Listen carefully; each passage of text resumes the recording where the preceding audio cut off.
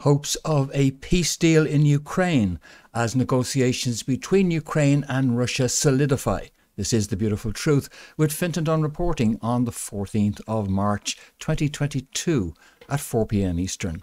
Folks, uh, it looks like Zelensky, the comic at times current puppet leader of Ukraine, may be about to recognize the nature of his long term interest and sit down to ink a deal with Vladimir Putin.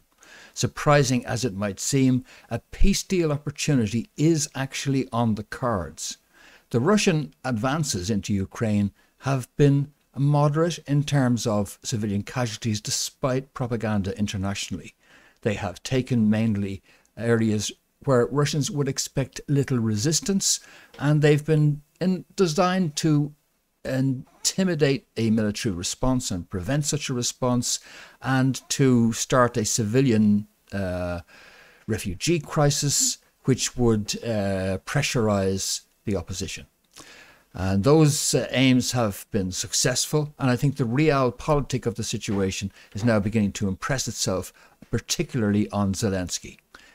I'm sure that in the preliminary negotiations between uh, Russian and Ukrainian negotiators, they would have emphasized to Zelensky that the West has absolutely no interest in his long term future, whereas Putin and Zelensky have a long term future together. Putin, in fact, does not want to take over Ukraine, does not want to occupy it, does not want to make it back a part of the Soviet Union, and does not want to recreate the Soviet Union. Again, despite the propaganda you may have heard to the contrary. Now, his limitations are that that would be an open sore which would continue to just rot away Russia in its southwestern frontier.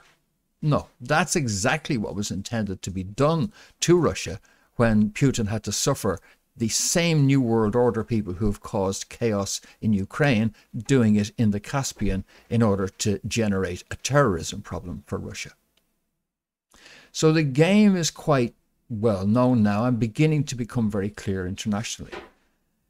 Along with the protestations for the invasion, uh, we have the counterpoint that surely this is just another repeat of an endless series of successful liberations by the New World Order neocons.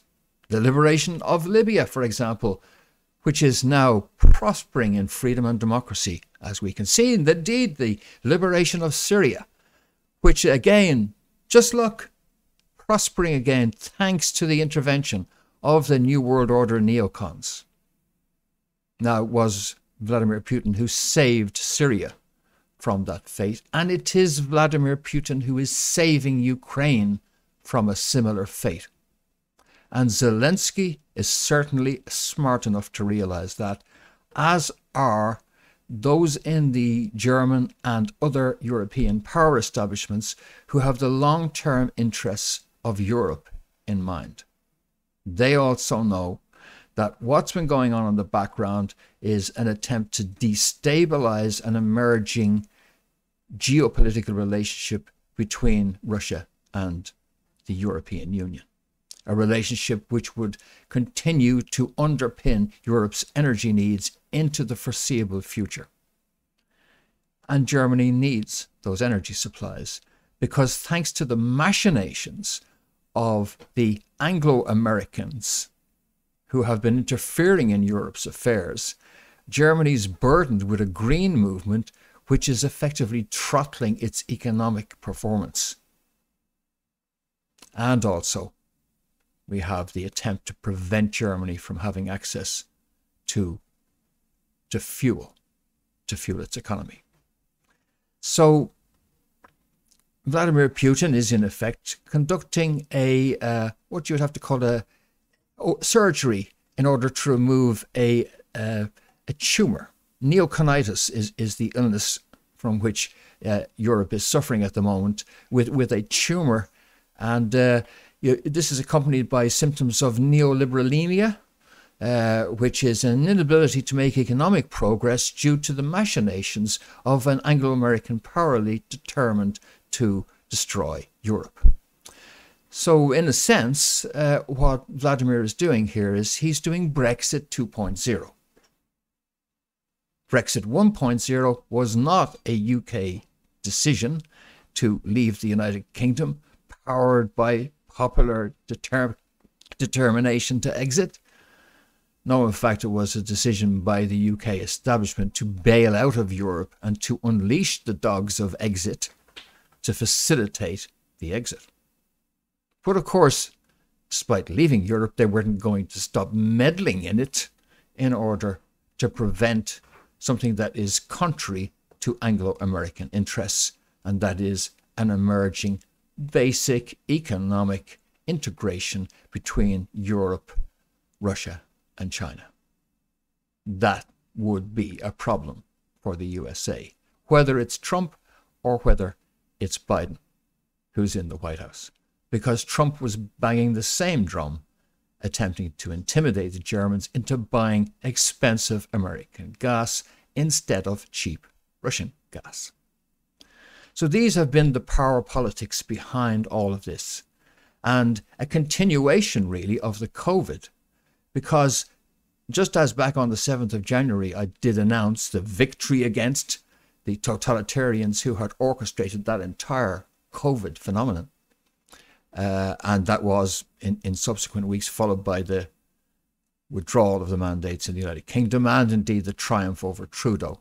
We must remember then that Trudeau, of course, is, is just another pawn of Klaus Schwab and the World Economic Forum.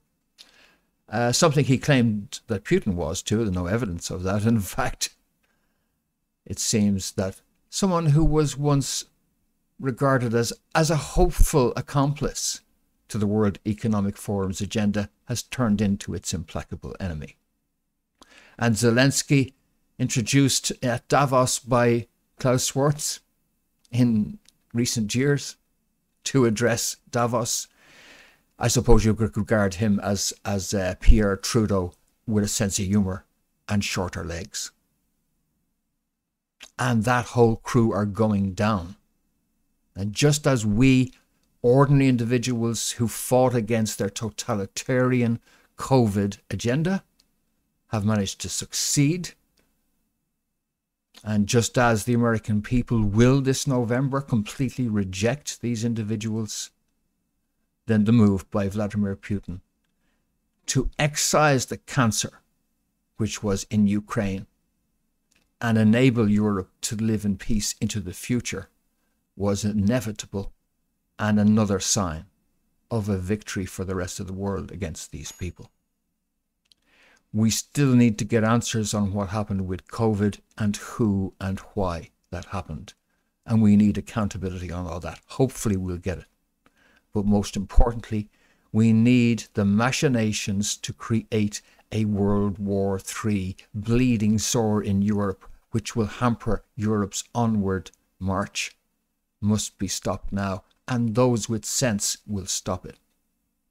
But it will be led out of self interest and mutual interest from Zelensky and from Vladimir Putin by a deal, hopefully in the days ahead before or even on the day that Irish eyes smile, the 17th of March.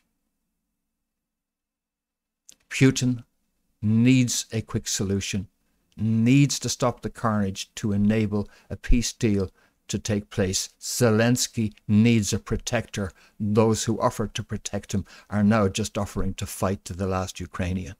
That's not much use. It is indeed Putin who will underpin the independence of Ukraine. And I think Zelensky will see that. And those in a, in a position to affect events will see it. We're not out of the woods yet. This will be a catastrophe for those who have created the crisis in Ukraine, but I'm hopeful it will be achieved in the days ahead.